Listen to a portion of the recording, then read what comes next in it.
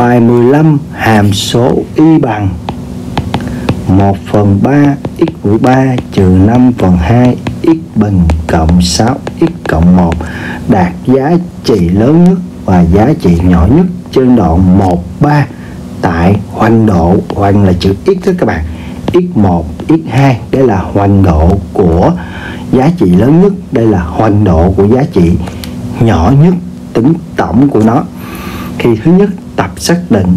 Tập xác định đề bạn 1 đến 3 lấy cái đoạn đề bài cho.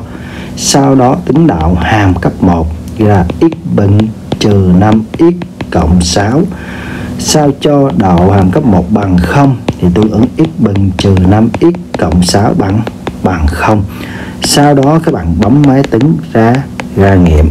Các bạn bấm gì ạ à? bấm on nè. Mod 5 3 A là 1 nè.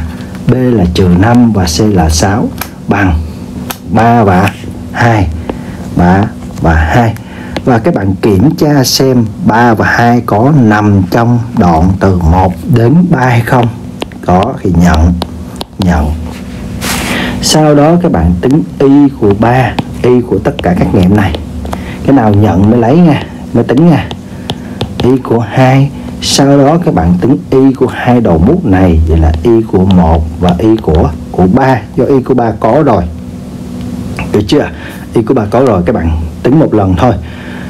Đây, y đây. Các bạn, chỗ nào có x, các bạn thay bằng 3 sau đó chỗ nào có x, các bạn thay bằng 2 chỗ nào có x, các bạn thay bằng 1 tìm ra ba giá trị này.